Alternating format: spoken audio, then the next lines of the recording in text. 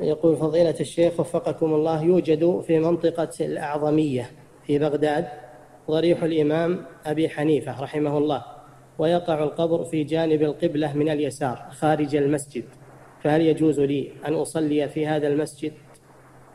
إذا كان القبر متصلا بالمسجد في أي جهة من القبلة أو غيرها متصل ما بينه الأجدار فلا يجوز الصلاة فيه.